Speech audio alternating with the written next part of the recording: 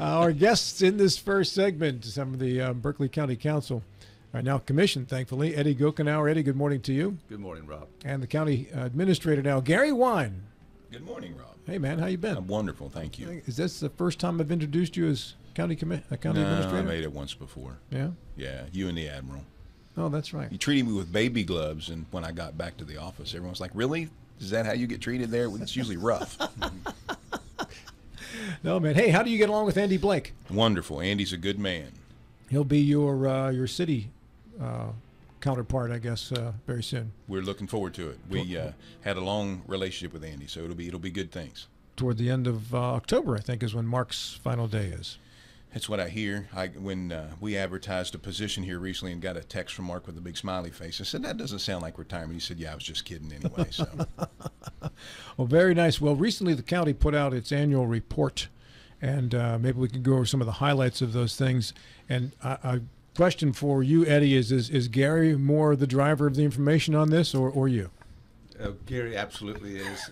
Uh, I, I tell you, Gary has absolutely just hit the ground running. He hasn't stopped, uh, and I, I don't really like for that because I, I like for him to stop every now and then just to catch his breath. But he's doing a tremendous job. He really is. I mean, he just he works so hard, uh, and everybody's bombarded him with different ideas, and you know it, it's you know uh, Alan was in that position you know for a long time, and you know it, that's that's just the way that was.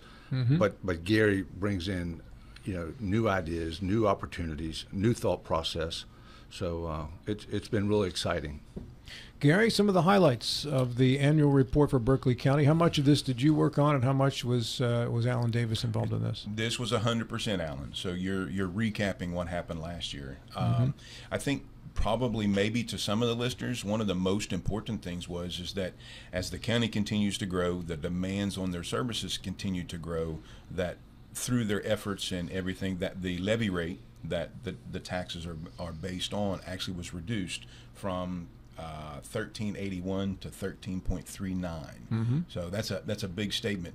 Now that's not a voluntary reduction. Um, one of the things that's in the state code that we deal with is called the rollback. So if the county grows more than 102 percent, uh, they have to roll the levy rate back, but it's still to the advantage of the taxpayer. If the county grows more than 102 percent in what dollars. Dollars and Yes. revenues collected. Correct. Okay. Right. So it's a mandatory rollback, and every county has to follow those They do. guidelines. They do. It's fine and dandy for non-growth counties, but for growth counties that have big demands on the services that my bosses provide, uh, it hurts. So does this this acts as a curb on how much the taxpayers could be exposed to in terms of annual increases in their real estate property That's- assessments? That's exactly real estate and personal. And that's personal. exactly what it does. So the the net result of the rollback for us was a loss of about uh, or a non-realized gain of about eight hundred thousand dollars. Are you essentially expending that money in services and unable to collect it? in a growth county, uh, we're up against the wall with demand for the tax dollar. So, a lot of the initiatives, and, and Eddie, it, one close and dear to his heart is is paid firefighters. So, we could use that money to grow firefighters. We could use it for law enforcement. All our public service, our public safety is taxed to its limit. Um, and again, it only really impacts growth counties, um, of which you know there aren't a lot. There's Berkeley and Jefferson, and Monongalia, Monongalia, and Putnam. And that's it. So four out of 55. Yeah, well, they there's there's a few others that they classify as growth, but they're I think growth, Morgan maybe. Yeah. eh, well, and I believe that they actually classified Lewis as a growth county because of gas, natural gas. It's huge. So is is growth tracked as revenues or population? Well, that was that was my question, so I didn't get a straight answer. To us, growth, population, demand, and others maybe they see it in revenue. Um, but again, growth in population, which is demand on tax tax dollar services, we see as population. Yeah, actually, in Charleston, it is it is the revenue that they determine a growth county. Uh, there's also it's interesting in what a, a, a section of the law called the Local Powers Act, which I worked on many years ago, and it's the one that says that you can have impact fees. There, it defines a growth county by population, but in terms of uh, of of uh, property taxes. It defirm it, it, it, it, it defines a growth county by the revenue they collect. And you're right. It has it it, it, it, it says that if, if you grow two two percent, forget whether that 2% growth in revenue was a result of a 10% population growth. They, the, the, the, it, it, it totally ignores it. It's, it's really maddening and, it, and it's stupid. Is there a way to counter it? Um, persuade enough legislators. And I'm trying to think, uh, Eddie, you may know this. Is it in statute or is in the Constitution? I used to know the answer to that question, but I but I can't remember. If it's in the Constitution, then what you have to do is run a constitutional amendment. Uh, and uh, my, I, I think I remember it being in statute, but I'm not sure. And if it's statute, then you just get the legislature to change it and just say, yeah, two percent growth in revenue compared to what kind of growth in population, and then that would uh, uh make a lot more sense. Well, every stupid law made sense to somebody, or else it wouldn't be there at the time. So, what is the rationalization behind this? I think the rationalization is uh, that we presume uh, that no county is ever going to grow in population. Well, that's discouraging. yeah. That's the underlying assumption yeah, behind that theory. Whether it's in the Constitution or whether it's in statute, that is the underlying assumption. I think you're absolutely right, John. I, and that's been a problem for Berkeley County all along. Is mm-hmm. nobody expected the uh, the growth that we've had in this county that has impacted our roads, our schools, our police, fire, EMS. Nobody expected that uh, to happen here. And it's obviously happened. We can prove it for the last 20 years. Somebody needs to wake up. Senator Jason Barrett is listening. He says Lewis had a small population increase. There are eight counties with a population increase. Property tax rollback is in code, not constitution. Ah, so that's a little bit easier to get it changed. Mm-hmm. yeah. So, uh, Gary, somebody uh, moves into the county, buys a house, and uh, at the cusp of whether or not they fit into this year's assessment or not, how long might it be in the worst case scenario from the time they move in till the time they get assessed, pay their taxes, and the county actually receives the money? What might be the longest amount of time that goes by? Well, if, I mean, if the house is not new construction, I mean, it's already on the tax rolls, so there's no change, right? Mm-hmm. So, but if they come in and build a house, uh, it, it could essentially be, it, it depends on the window. Um, let's talk about personal property. So you come in and you move your cars from Maryland to West Virginia, and right now we won't see that revenue until July 1, 2025. 2025. Yes, sir. 2025. So, so nearly two years. Almost, yeah. So in in the roles of the real are are similar. Uh, but again, if it's a, if it's real that's already on the books and the house already exists, it just transfers from one owner to pay to the next. So no delay there, but None. new construction could be almost Slow. two years. Could be. That's interesting. Yeah. Yeah. Is there a way to fix that? Is that really what we're talking about here with code, or is No. that just the way the time rolls? That's just the way time rolls. No, you can't fix that, I mean, and that's not the issue really, right? Because the house once it get in, you get in, and by the time everything rolls around, we don't feel the demand from you, right? So um, that the the real issue is is with the growth, like John said. Um, as we grow, one of the eight, right, that are defined as growth counties, the demand for the services, and, mm-hmm. and it's really in, in county government, it's our demand really is on at pub, at the public safety level, right? Internally on administration, it's not. I mean, we're fine, uh, but man, as the population grows, the demand on fire law and EMS and 911 is unbelievable. Yeah. So, but if I move in, let's say I've got six kids and they're all school age, they're all going into the schools. But that's the school system, not county government. So the, the, the division of the, the monies collected, right? So the division of monies collected, the, the school system sees nearly 80% mm hmm of the real and personal tax dollars. We operate on about 17%. Right.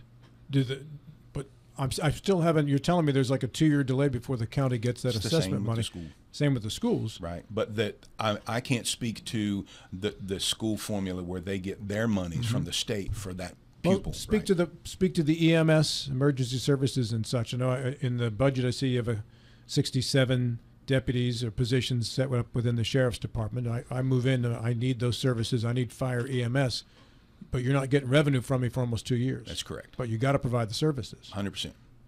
Yeah, And there's, there's no way to counter that lag time. there there isn't. So the legislative priorities for the county commission one of their top legislative priorities is to try and urge the legislature to allow home rule to counties and not just cities.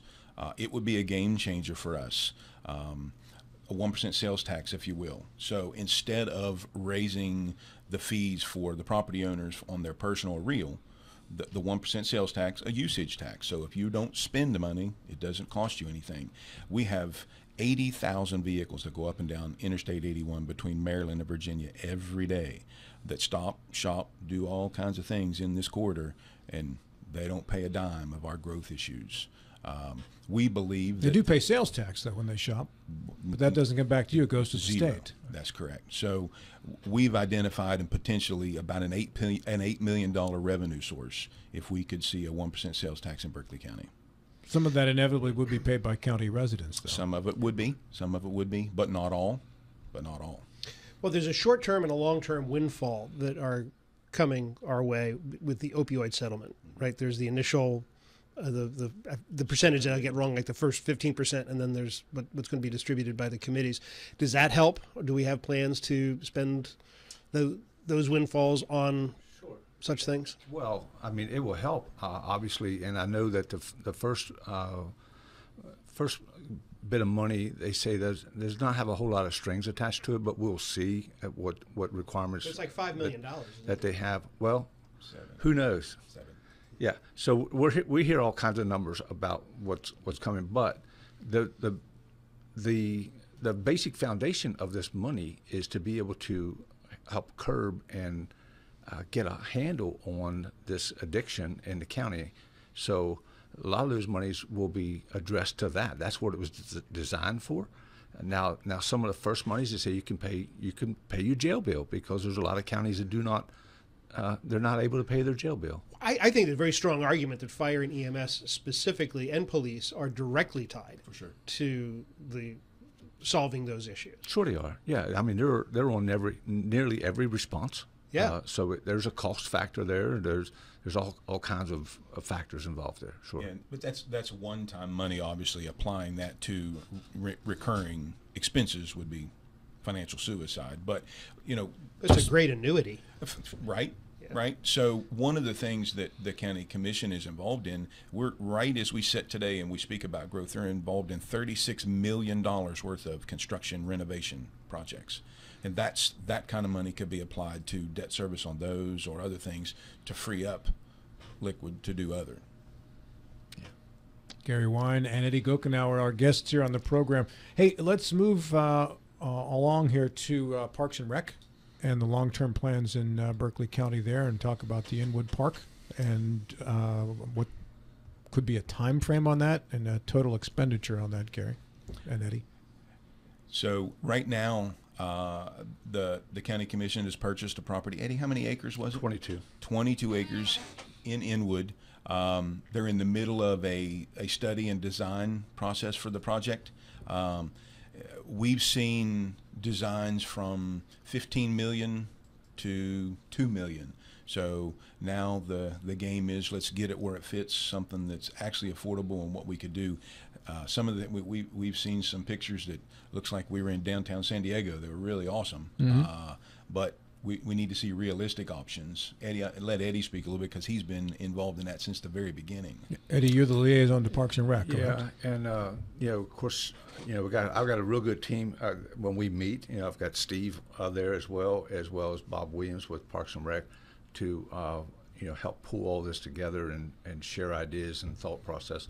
But uh, you know, it it's uh, it's right in the heart of Inwood. It, it's a beautiful location. It's across from the high school, so we're really hoping that the high school will be able to take advantage of it as well. So uh, there's there are a lot of opportunities. Uh, you know, when we talk about a $15 million park, we can't do that. I- I mean, it's realistically, we cannot do that. So we have to figure out what we can afford and what's going to fit nice in that community to where everybody can get out and enjoy it. So we're really looking forward to it. I'm hoping in spring, by spring, we'll be pushing dirt. That's that's the goal. So uh, we're working with a CEC uh, uh, engineering firm. Uh, they're also working with us on the Route 9 uh, connection to Frog Hollow.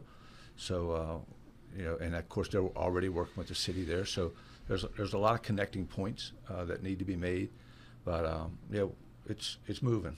You know, it's it's a slow process. There's a big span between 2 million and, and 15 million, right? So, what are the essential elements of, of a park? What what make it a park and what? And, Well, I mean, you know, we got to get a road in, we got to get a parking lot in, we need a, a restroom, we need our stormwater management. well, there's a Yeah. million right there. Okay, you, you keep adding, and, and, and now now we're going to do a, a walking path, you know, around a 22 acre site, uh, and maybe up through, uh, you know, um, we have to have a playground and a park. I mean, what park does not have a Right. playground?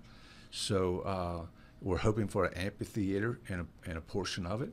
Uh, there, there are open. There's an open field for all type of activity. Whether you know kids want to come in and play soccer, throw fris- frisbee, you know, whatever they want to do. Um, yeah, there's there's a, a splash pad, a water feature, which is uh, the the design that they showed us was tremendous. Um, so because everybody yells for a park, well, we- you know the the pool's very expensive to build. It's very expensive to maintain. So and the, and the liability of it. So you know let's let's maybe do a, a splash pad of some sort. So the, that's uh, that's the the premise, you know, really of the uh, of the park design and. Uh, Okay, I'm going to be deliberately provocative here. Okay, I'm going to I'm going to be kind of a just jerky question, but in a county, it's we've got a pockets of the same suit with with money in it, right? We can spend it here, we can spend it there. So when we're talking about issues with EMS and fire and all of that, one could argue that we already have parks. Maybe we don't need another park. Maybe we should spend that money on something else. So how are those decisions made, and, and what are your what are your thoughts? Well, I mean, the thing about it is, is this park is not really being built by our county tax dollars. There, there's quality life fund that's been set up by the by the county commission, uh, and there's some ARPA funds that may be available. There are some. Uh, we're, we're trying to get some money from the federal uh, folks. We've got we've got some grant uh, opportunities. So it's not like those dollars are being taken from police, fire, EMS, because I can assure you, I I think about it every day of how we can get our firehouses staffed. Every volunteer fire department has request staffing. I know for a fact that it's needed, and I, not just I, I say I, but I, I mean I do think about it every day. I don't know about the rest of them, but I do. Uh, so. Uh, it's important to me that when people call 911 and they need a fire truck, it's important to me that they get one right away, not a delayed response. And before your Facebook feed pops up, uh, definitely some pickleball.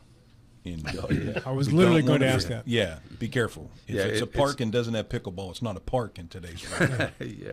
Hey, will there be a uh, meeting uh, of any sort of collaboration in regards to the discussion currently renewed because of the Lambert pool situation in the city of Martinsburg right now about some type of indoor pool complex with the schools, the city, the county, maybe with some help from some state funding, getting together to build some type of indoor pool complex that the Berkeley County schools could use for swim meets, and of course the population could use for year-round swimming and lessons and such. Yeah, Steve and I just met uh, last week with uh, WVU East, uh, the city of Martinsburg, uh, and, and we had that discussion. Uh, you know, we really and truly feel that for it to be able to be maintained uh, properly, that the, the health service needs to be involved in that.